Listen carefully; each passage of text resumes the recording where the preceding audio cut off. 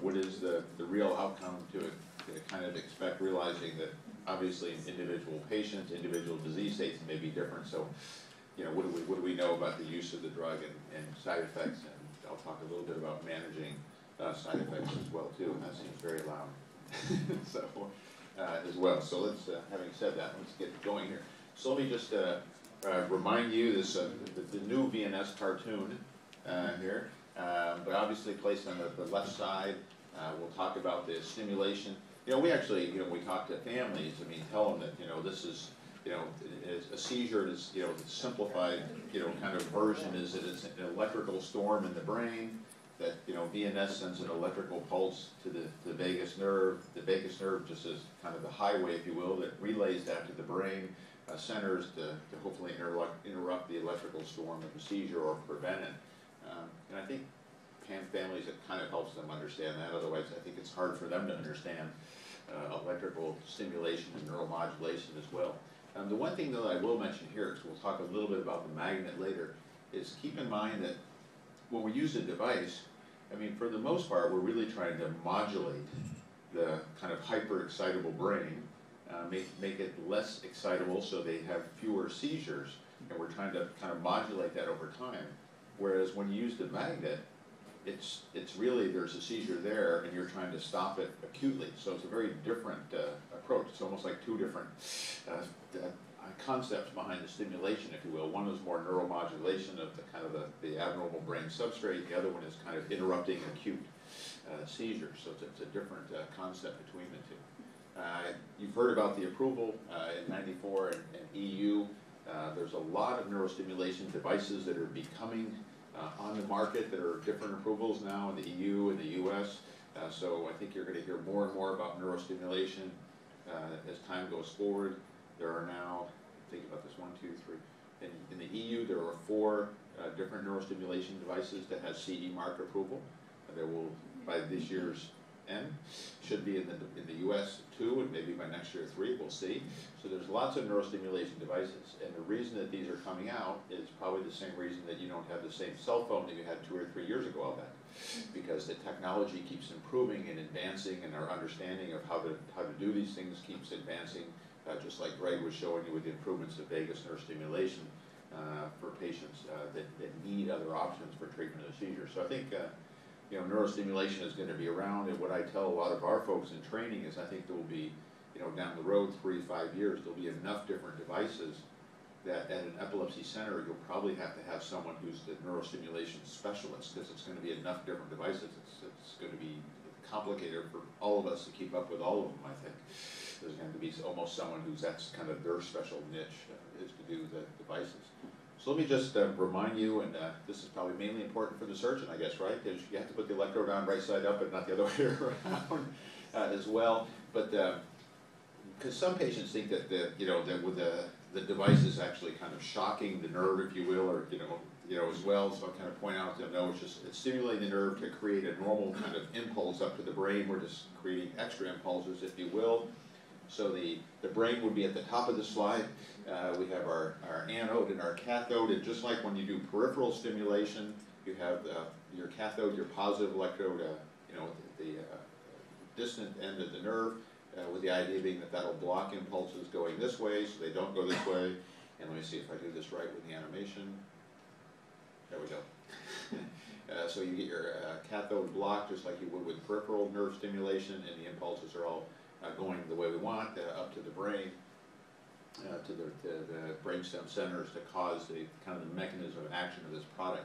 The one thing I'll mention here, and we'll come back to this, but if you think about it, again, just like stimulating your peripheral nerve, in the vagus nerve, there's, there's only so many nerve fibers. And so, just like when you stimulate a peripheral nerve, once you stimulate all the fibers, you can stimulate at higher intensity, but doesn't do any good because you've already captured all the fibers. And the same is true of vagus nerve, and we're kind of using that to figure out now kind of dosing and how do we do that. So I'll, I'll come to that in a little bit, but that's actually, that understanding I think helps us to get to that uh, as well. Um, we'll, we'll come back, but the, uh, to the, the, the, minimum dosing here in a little bit, but the mechanism is through that, you know, the vagus nerve is made up of A, B, and C fibers, and it's through the A and the B myelinated fibers, and especially the smaller uh, fibers in that group. So it's the small myelinated fibers that count for most of kind of the mechanism of getting the impulse uh, up to the brain. Uh, once we get there in the brainstem and through the locus coeruleus, there's a lot of changes that have been documented. Um, and occasionally patients will ask me, not too often, uh, but how the device works. And I always tell them it's just like a lot of our medicines. I mean, a lot of our medicines, we may know one mechanism of how they work, some we know a couple, but we really don't know all of them for almost any of our medicines. There are rare exceptions like vigabatrin, I guess, a couple other medicines. But most of our medicines, we just have an idea or two how they work. We don't know completely. And I tell you know, the device is very similar. We have some ideas uh, from animal and human work of what uh, changes that occur and that might uh, explain the mechanism. Is that the only way? Probably not. There's probably other ones we don't understand, so it's very similar. Uh, but some of these are actually helpful in thinking about kind of other benefits of the device. So the, fact that at the brainstem level we see changes in neurotransmitters and especially we see elevations in serotonin and norepinephrine. So if I just told you that I was elevating those in the brain, it wouldn't really surprise you the patients felt better, right? That they, their mood was better because I'm changing brain uh, serotonin levels. So it shouldn't be a surprise that the drug, you know, the device works for depression because we're altering those in the brain. So uh, when became clear that the device had effect on mood, it, it really wasn't such a big surprise because these were known from animal uh, studies that you could affect those neurotransmitters. So it, it really kind of makes sense.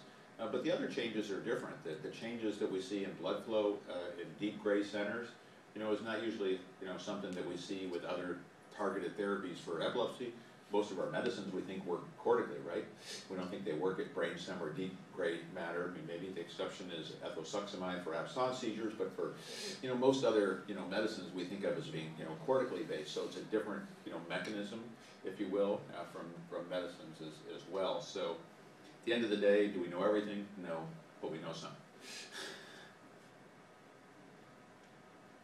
All right, so the, just to remind you that the device was studied, the pivotal trials, uh, E05 was the first one that um, I was involved with, as I said, in 1995, uh, down, down here. Uh, but a lot of uh, kind of some were control studies, the other were kind of the you know initial open label uh, studies to look at uh, outcome in large numbers of patients. and the other devices that are being looked at now, at least that are approved, are the major devices are similar number of patients, so it tends to be pretty robust numbers to get to an approval status. Oops, what'd I do? okay, let's see if I can get that out there. Okay, maybe we'll go over here to get it out there.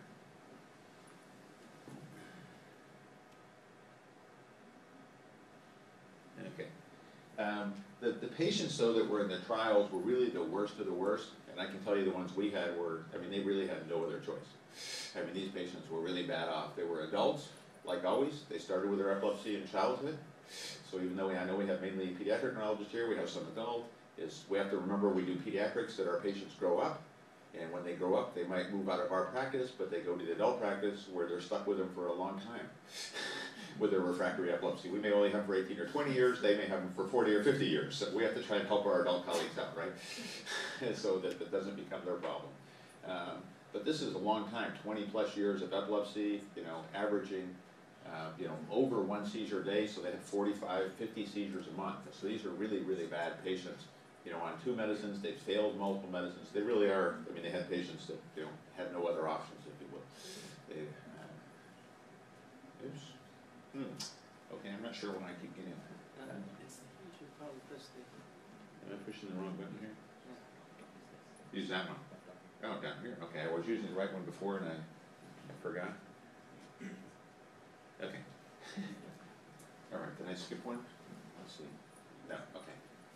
All right, so um, the studies were obviously positive that led to the approval. Uh, interestingly enough, all of the devices show this improvement over time. So vagus nerve stimulation showed this and in the trials, and people kind of scratched their head and said, well, that's weird. Why does, you know, you see this kind of improvement over time?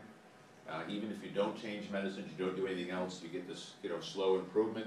Um, responsive neurostimulation has shown that, deep brain stimulation has now shown it with no medicine changes. So there's something kind of different about neurostimulation where you see these late changes. Again, do we fully understand this? No.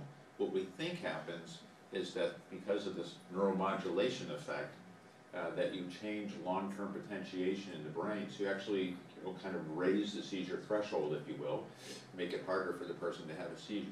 So again, very different than the kind of acute seizure, you know, model, uh, in, in animals, uh, and in, humans, obviously. So we, we see this kind of, uh, in multiple forms of stimulation. If we switch from the, you know, the trials, if you will, to the real-world experience, uh, the trials are critical, obviously, for approval, but just like the medicines, we look at, you know, medicines that are approved, they're using the worst of the worst patients too. And then when we get them, you know, after approval, uh, we usually all do better because we're not trying them in the worst of the worst patients. We're trying them in refractory patients, but they're not quite as bad as usually the ones that are in the trials. So we usually do better, and the same is true of the device. So you, this is just several large, kind of, if you will, post-approval trials. And what we see is that it tends to be, I always tell folks about fifty percent, fifty percent responder rate. So what does that mean? It means that about one in two patients that you put the device in, if you look overall, so not specific patient types, but big numbers, should have their seizures cut in half or more. Uh, this is very kind of similar criteria we use for medicines, if you will. It's not obviously the same criteria we use for traditional surgery. So we've switched uh, from that kind of criteria more to uh, medicines, if you will, uh, criteria. I think that's important to understand. Uh, and I think our patients understand this because we talk to them about new medicines. If they've already been on four or five medicines, and I say, geez, I'm going to I'm gonna, you know, try a new medicine, they say, ah, what am I, you know, is this likely to help me? Um, yes, it could help them, it might reduce their number of side effects, uh, but we usually talk about kind of responder rates or fifty percent improvement in those patients, so it's a very similar, uh, concept to what we do with those patients. There's a couple of recent large papers that I want to kind of spend a little more time with you on, just kind of that's by way of background, but just to kind of show you the kind of more recent uh, confirmation, kind of uh, confirming some of this data and, and uh, you know, what do we, uh, you know, know with, with more use, and as we said, we've got, you know, 17, 18, you know, soon it's gonna be uh, 20 years of, of use of the, of the device here. All right, so this is one, this is uh, from a couple papers that are out of the group at New York University. It was a very large series, a single surgeon, comprehensive epilepsy centers. The patients are being evaluated. They can't have surgery. This is an option that's offered uh, to those patients. So long uh, series of patients with kind of a consistent uh, team, if you will, uh, evaluating and doing the follow-up uh, with these patients, looking at. So again, it's interesting. This holds up uh, in all the studies. If you look at the onset, the average age is childhood. It's always, you know, childhood. Uh, and then look at your follow-up prior to VNS, almost 20 years, which is amazing. So even though this device has been on the market for 18 years, the original studies was 20.9 years. Now it's 19.2 years, uh, almost no different, right? So even though you think we would be better about identifying refractory patients, we heard earlier that we all kind of said, gosh, you know, once they've been on two, three, four medicines, we can tell. It still is taking 20 years for people to get here. Uh, and it's not much better for epilepsy surgery. If you look at epilepsy surgery in the US at least, it still is about 15 years on the average. It hasn't, you know, even though we all said in a couple medicines you tell.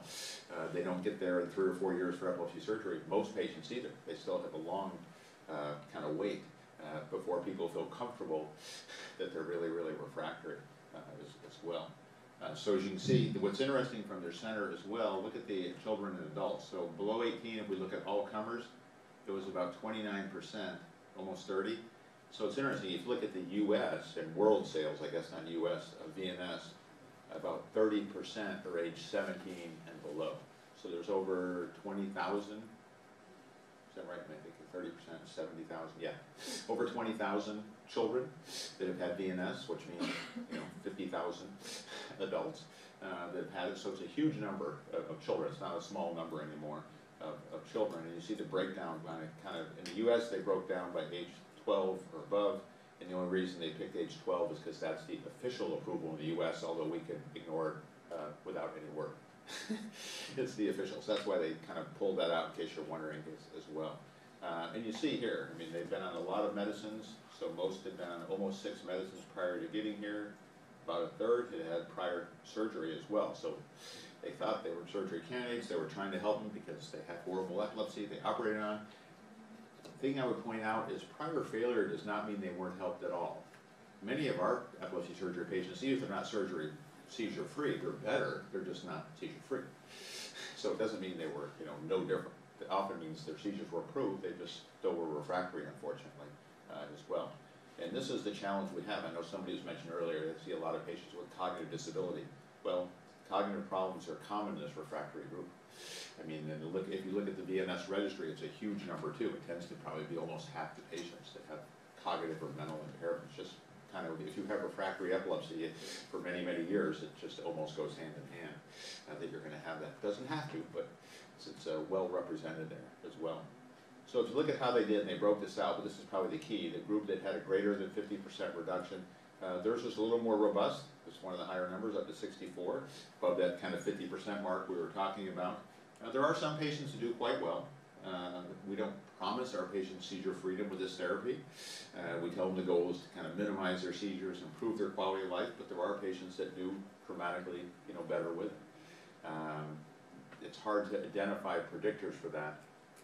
There's a more recent uh, meta-analysis to this paper and that tried to look at kind of many of the VNS papers that met outcome criteria. Uh, it was over three thousand patients in their meta-analysis and look at predictors of kind of positive outcome. Uh, and we talked about those on the adult side, uh, and actually adult and pediatrics. If you had a normal MRI, that was a positive predictor. Uh, mainly on the adult side, if you had a prior history of head trauma, that was actually a positive predictor of good outcome. Uh, children overall did a little better than adults as far as response. And children with tuberous sclerosis who were not felt to be surgery candidates actually did better overall than the kids that didn't have. it. So they're starting to emerge some kind of positive predictors. Doesn't mean the other folks won't respond, these are just groups that seem to do even better. uh, That we're starting to be able to tease out as, as well. Uh, in their group, um, you see that the patients were basically partial seizures, uh, you know, focal EEG, partial seizures, tend to do better. Again, these are patients that cannot have epilepsy surgery for whatever reason uh, as well. And they have a very vigorous epilepsy surgery program, so uh, if they thought they couldn't have epilepsy surgery, I would, I would believe them because they run about uh, thirty-eight monitoring beds.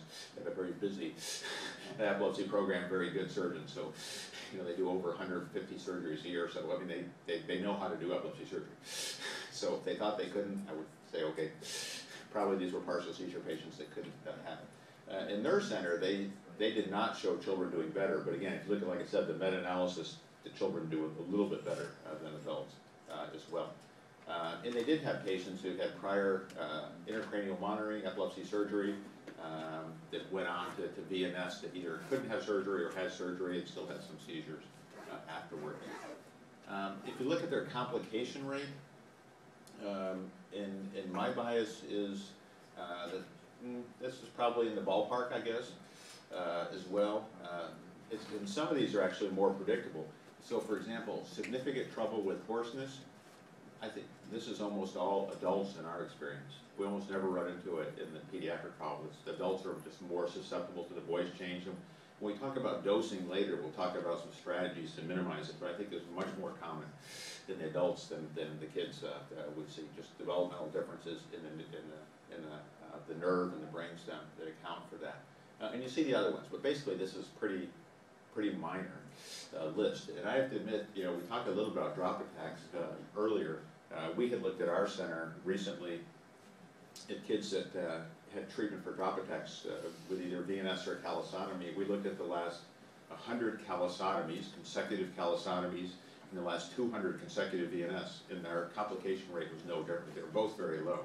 So if you have a good surgeon, you can do callosotomy with a very low complication rate, but I think the key is your surgical expertise for that procedure. I hope you agree with me. You don't want just any surgeon doing probably a callosotomy, any neurosurgeon, they have to know, know that procedure and where the vessels and the anatomy is, so, uh, as, as well.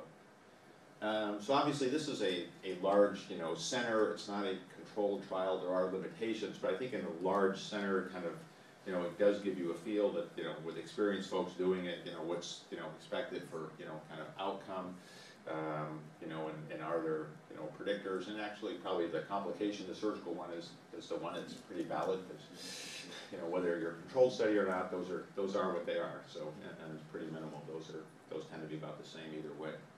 If you switch gears and look at now, this is the pediatric kind of subset of their, of their study, uh, if you will, the hundred and forty-one that were uh, pediatric patients. So obviously, the key difference is we don't have the, the, the, you know, the twenty years of epilepsy, uh, uh, length, but it's interesting enough, it's eight point four years.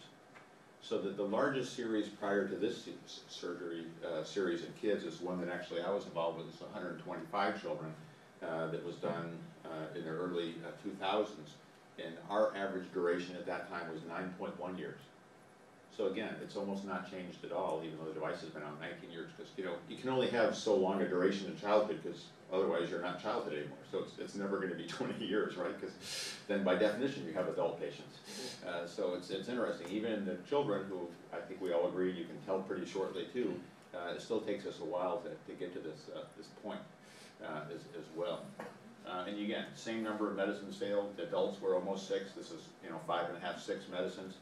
So interesting, I think we all talk about kind of two to three medicines, uh, but most of the patients don't end up getting something done until they've almost had twice as many medicines tried. Um, and I think what we tend to do, uh, at least in our center, is knowing that, you know, by two or three, we should be able to tell the refractory, is that's the point that we start talking to the patients and saying, you know, gosh, you know, you know, this isn't working, you're refractory, you know, we've gotta start thinking about what other options are available and evaluating it, you know, for you. So we at least start kind of, uh, you know, getting, getting them thinking that other than medicines, you know, whether it's surgery, VNS, the diet, that there may be other options I need to be, you know, thinking about and, and they're thinking about it, uh, rather than kind of, you know, waiting and saying, oh, we need to do this now, so they've had a chance to kind of get used to the idea, if you will. Uh, and while we're doing that, we may try another medicine or two, and I think that's what kind of drives a lot of this. Uh, and you see in their series, the developmental delay was very high, almost eighty percent of the children. So a huge number of children with developmental delay, uh, getting the device.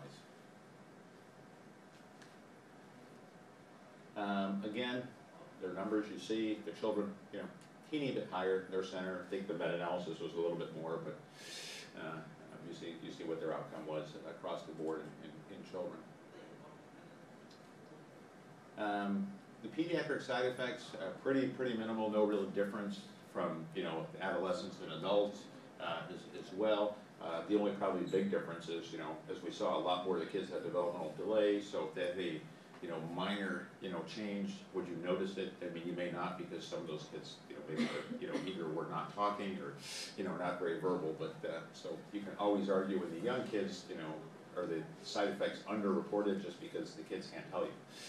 But, but not major problems, uh, comparatively any different than adults. And again, you see the listing here, most of these are pretty, pretty rare. Uh, And again, same, same uh, caveats, because you know, was uh, kind of them looking at their, uh, you know, population, it wasn't controlled, so these are the same as they were on the, the adult side. And again, all of them had a pre-surgical evaluation and were just felt not to be candidates in a, you know, multidisciplinary, you know, setting they were reviewed. All right, let's switch gears, because this came up earlier to the, kind of the magnet use, uh, and what this does. So I, I think the key, like I said, you really have to keep in mind is, you know, when we use a device to treat kind of the spontaneous seizures, we're doing, you know, we're hoping to neuromodulate having one effect. We're using the device to treat a, a seizure that's either, you know, starting or ongoing or clustering that we're trying to interrupt. It's a very different concept. There, we're trying to actively, you know, kind of abort the seizure, so even the animal models would be kind of different. One is kind of like a chronic seizure model, the other is like an acute, you know, how do I stop the seizure model? So I think we have to keep that uh, in, in mind. Uh, you know, and how well, you know, the magnet works or doesn't work. Um, usually with the patients, it's very easy, because the patients it works, you can tell. They always, when they come to clinic, right, they have it on their wrist, their belt, the mom has it, you know, you know, handy or close by. Uh, and the ones that doesn't work, it's stuck to the refrigerator at home, holding a picture up or something, right? So it's very easy to tell from the, the, patients tell you if it works or not, right? Uh, kind of as, as well. Uh, and when you talk to families, I mean, they'll tell you different things. It, it usually doesn't work hundred percent of the time with anybody, right? So even in the folks that say it works, I mean, they'll say that, you know, some of the times it either shortens the seizure duration, uh, the seizure cluster maybe is, is not as bad, they tend to cluster with their seizures, uh, or the recovery times uh, quicker uh, with those things. Uh, there are rare patients that have been captured in epilepsy monitoring units. We've had patients like this, we've been remonitoring. They have a seizure, we swipe the magnet, you can actually see how quickly, you know, does it respond quickly? Because it should be quick, right? Because all the magnet's doing is just flipping a, a magnet uh, switch in the device. that you're basically like turning on or off the light switch, right? And then it's sending electrical stimulation to the nerve, and then that's carrying action potentials to the brain. So all that should happen you know, fraction of a second, right? I mean, it takes almost no time. So if it's gonna work, you should know, you know, within a second or two, it shouldn't take, you know, uh, very long uh, for that to abort the seizure if it, if it's going to. Um, so we tell the patients, you know, we first put it in, you know, that the magnet is there, you don't have to use it. If you never use the magnet, if the device is gonna work, it should help you. Because a lot of patients, I think, feel guilty, like, oh, I have to be able to use the magnet or it won't work. So we tell them that up front, that, you know, you don't have to use the magnet, it's kind of, uh, extra, it's a, uh, saying I use it's icing on the cake, you know? It's kind of gives you something extra to, to do. Um, the other thing we tell them though, that's an important thing to keep in mind was the magnet, is, uh, that you may not realize, is every device that's sold requires an off switch. So the patients can always turn the device off, and the magnet is their off switch. Uh, for deep brain stimulation, they have a little off switch. It's basically a little programmable thing that they can turn and hit off if they're having problems. Responsive neurostimulation will have an off, you know, kind of switch the patients get hit, they all, it's a requirement, they have to have it. So the magnet, this one just has a, you know, it's inexpensive off switch, just a heavy duty magnet, and if you hold it over the device and you leave it there, it will turn the device off. So I always tell patients, that's probably, you know, an important use not to forget about the magnet, if they ever think they're having problems, especially if it's at night or on weekends. Just put that over there, you know, you can turn the device off, they don't have to worry about, you know, getting hold of somebody in the middle of the night to check it. Uh, and then when you take the magnet away, the device will start back on, so it'll come back on, but they can always turn it off as well. I think that's a very important one to keep in mind. Um, the only, the data we really have on the from what patients tell us in clinic is from the controlled studies where patients had to record if they used the magnet and whether it helped or not. So it's not video EEG monitoring, it's, you know, the patient's voting. Uh, so what did the patients tell us, you know, about a third, a little over a third of the time, no effect. Not quite two-thirds of the time, it helped some, some, the seizures were, you know, milder, some they thought the seizure stopped, so, and like I said, I think it does have an effect. Are there good predictors of who will be helped with the magnet? Um, my own experience, I think the best predictor is probably adolescents and adults that have partial seizures. And if they have a, uh, a, very, uh, stereotyped aura, so before every seizure, you know, they say I get a consistent, you know, feeling in my stomach, some kind of aura, that the folks with the aura, uh, probably respond better to the magnet. A lot of that may just be that they have more time, because their seizure is developing slower, so they feel that they have a time to swipe and kind of turn it off before, you know, it's kind of full blown, whereas some of the, you know, other seizure types, you know, they're so, the kind of the horses out of the barn, if you will, before they swipe, so it's, it's hard to do. It'll be interesting to see once the automated kind of magnet, the, you know, the closed loop system is in place, um, you know, does that change some of that? Time, we'll know over the next, probably be two years or so, but we'll know down the road, uh, you know, how much that, that helps with this as well. Um, obviously, there's a lot of changes in quality of life, probably the easiest one that we talked about is the mood, uh, because of the changes. What's interesting is, you know, every investigator that I know of that's looked at these, they're, yes, if the seizures get better, we would expect, you know, people to be better, to, their quality of life to be better. But even the folks whose seizures did not improve that much at all, still reported improvements to their quality of life. So this is not totally dependent on improvement in seizures. And for most of our medicines, we don't see quality of life improvements unless the seizures are also better. So it's, it's different, if you will, uh, from that, that we see these. Um, and I always tell people, uh, this one down here, uh, where memory got better, uh, that's actually been looked at in a, in a lot of neuropsychologic studies with a positive memory effect. Um, I know many of you in the room are worried as you age about your memory, but I don't think it's quite good enough yet that I would get one put in yet, but it is there.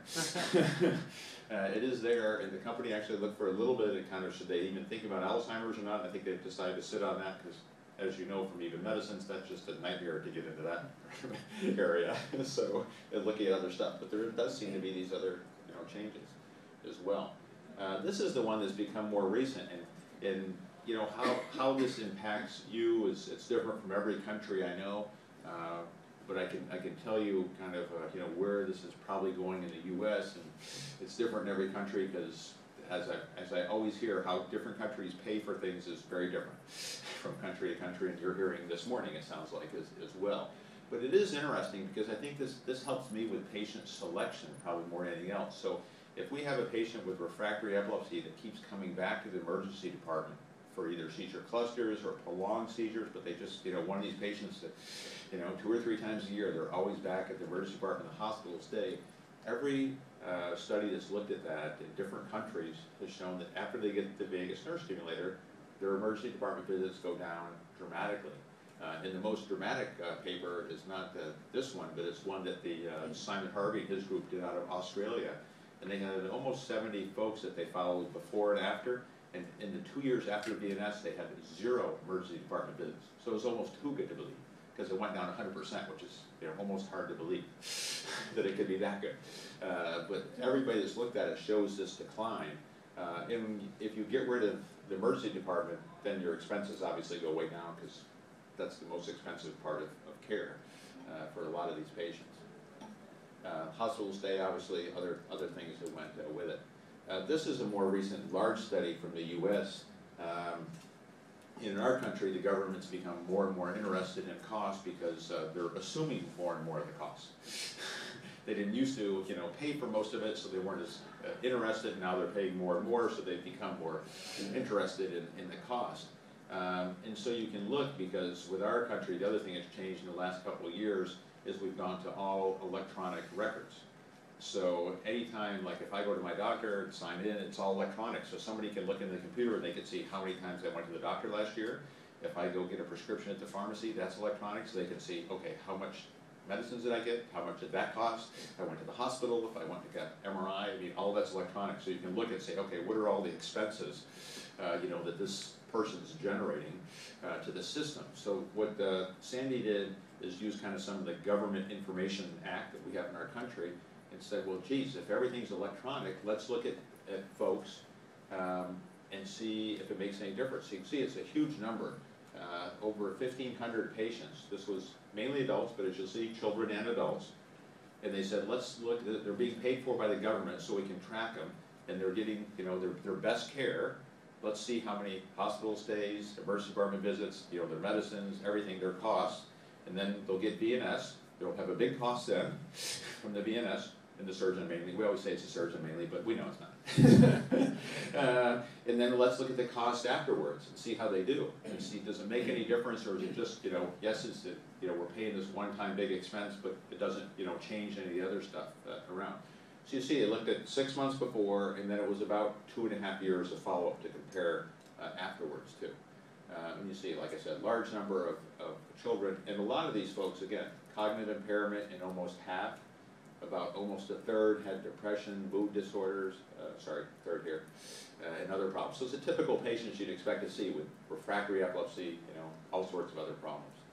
Um, so what they saw was if you look, hospital rates were down for, you know, hospital days, seizure-related days, emergency department visits were down, as we talked about, and then a lot of the traumas, so bouts of status at the hospital, head traumas from falling with seizures, and the adults fractures from falling with seizures, you know, not the kids so much, mainly the adults that we see as well. So a lot of these were uh, reduced.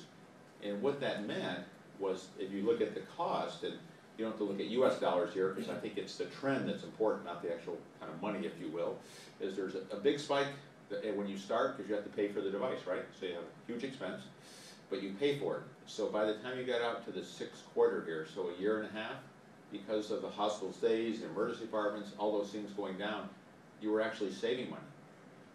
And with the battery life of now seven, eight, nine years, depending on the settings of the new models, you pay for the device at a year and a half, and then after that, you start basically saving money to the system. So in our country nowadays, if, if I had a new device that I wanted to introduce to the market for any condition, not just epilepsy, I have to do a pharmacoeconomic analysis.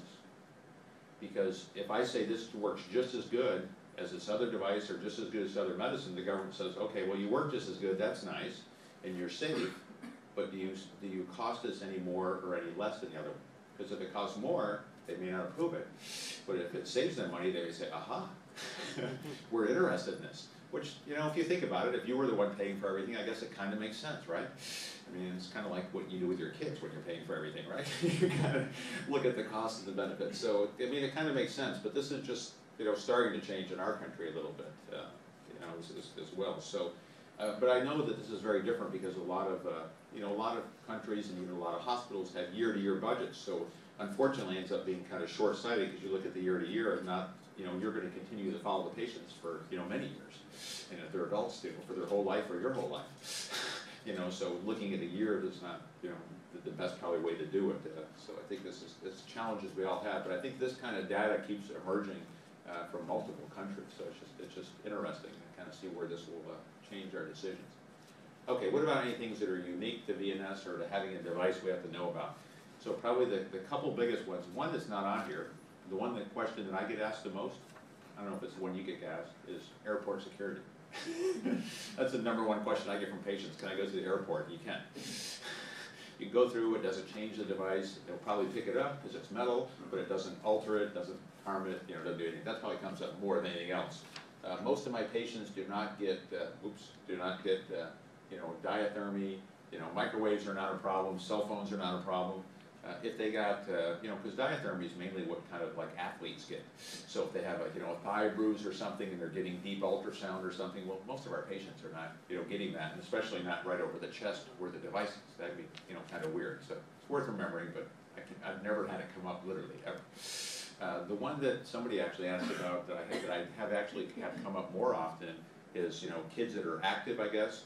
So I actually have kids that will play um, hockey, field hockey, uh, football, soccer. Uh, and so we just have them wear, uh, much like the uh, professional quarterbacks for football in the US, they can wear these vests. Uh, and they kind of inflate with air, and they wear it under their shirt. So if they get a blow, it basically protects their wire and device, and they're very inexpensive. They can, you know, get them from like athletic stores. So I mean, we do that for those kids to minimize, you know, trauma. Um, but, but these are usually not a problem. The other one, which is not listed here, but it usually is not a problem either, is they shouldn't be working uh, immediately next to a high voltage transformer. Well, most of our patients are not working on high voltage transformers that have intractable epilepsy because they, you know, we'd be worried they'd fall into the transformer or something. So again, it's not a practical problem, but theoretical one. Uh, and then the MRI labeling you, you heard about is just uh, kind of been changed uh, as well. So now uh, we do uh, these folks on both, well, we don't have 1.5 Tesla machines anymore. All of our machines are 3 Tesla. Uh, on 3 Tesla machines, but we do use the head transmit and receive coil. Once in a while it'll come up, and I had a patient, actually the dad's a radiologist, and it was funny because he called me and his, his daughter uh, was in a car accident, and he was concerned that she had a cervical disc from the whiplash.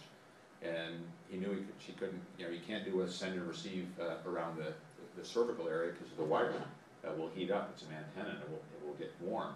And asked me, I said, well, gosh, you, you know, you could do CT myelography. It was funny because he was a radiologist, but in the modern era, they don't, I mean, they almost don't do that anymore in the States, so he'd kind of forgotten that that was even an option uh, to do, to see about the disc uh, as well. So you have to just, you know, think about other options, uh, you know, and what do you have to, to, to do uh, around those. Uh, but whole body scanners, you know, you can't do, so you have to stick with the kind of the head and receive.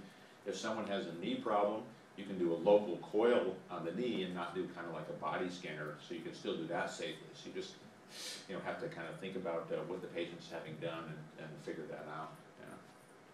Yeah. MRI usually ends up being a big issue for a lot of patients that I think generates a lot of, uh, I guess maybe controversy more than it should, uh, as far as, you know, what they can have done, what they can't have done. Has that been, has that been a huge issue for many of your patients, or?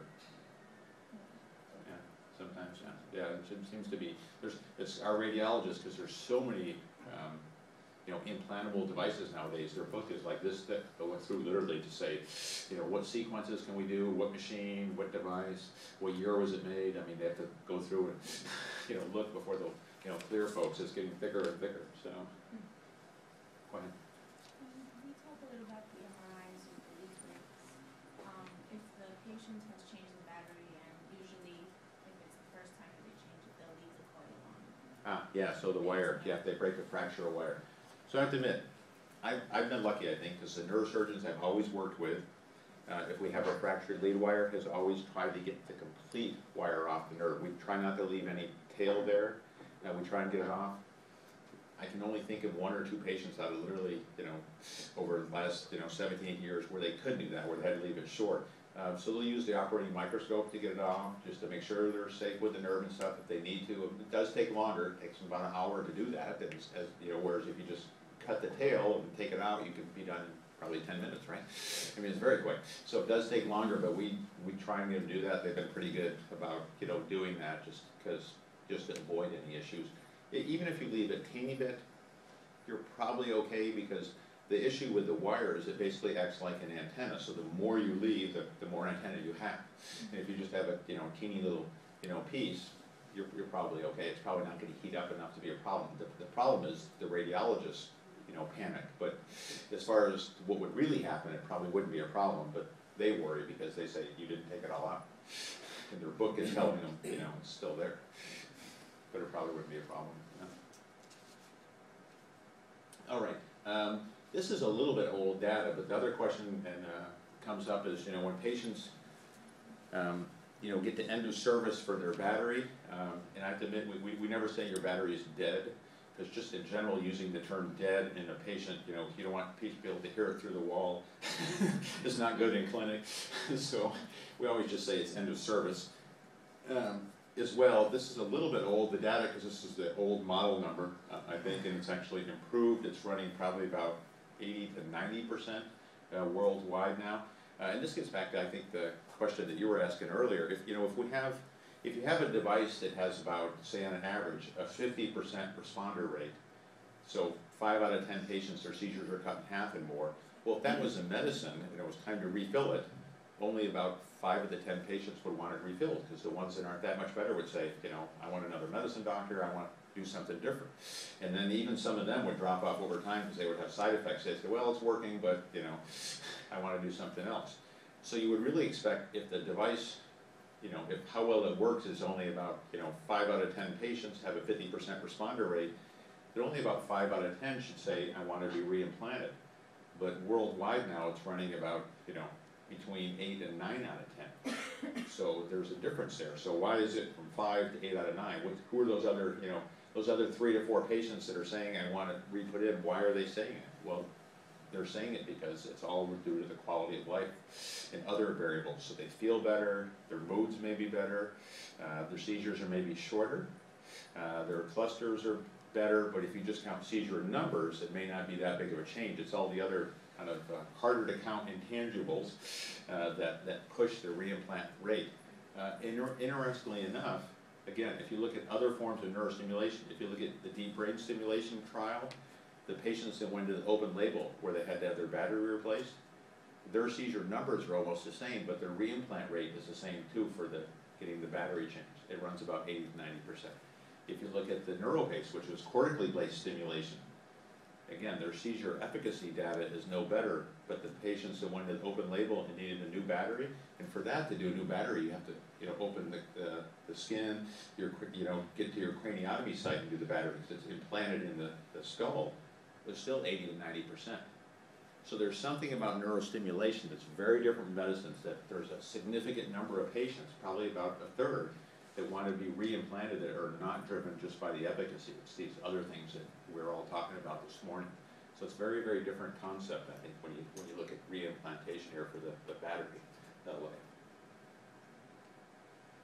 Um, the side effects, I, and, and I think this is the easiest part of this, and I always tell patients, because, you know, what do we do when we prescribe a medicine?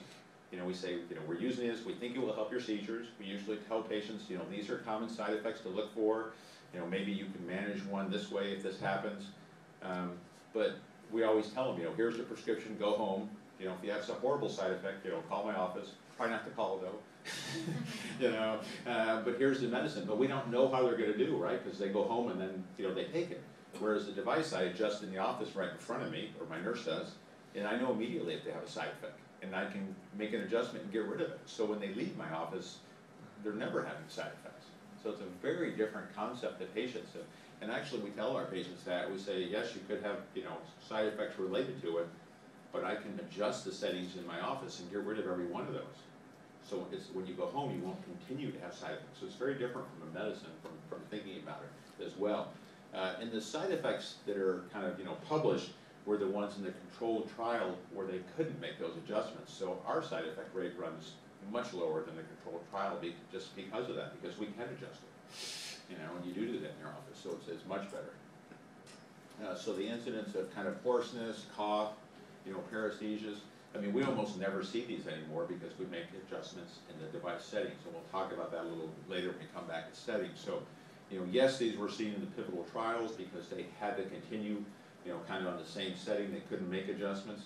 But do we see these nowadays? No. So I think these are just helpful because we at least counsel the patients on, you know, if you get a side effect, what it might be.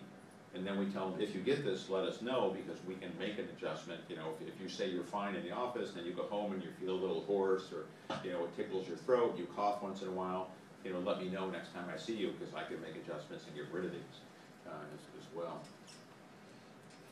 Uh, the numbers are actually now probably closer to seventy thousand, uh, patients worldwide that are unique patients, hundred thousand devices. So it's interesting, if you look at neurostimulation kind of globally, if you will, so there's about seventy thousand VNSs have been implanted.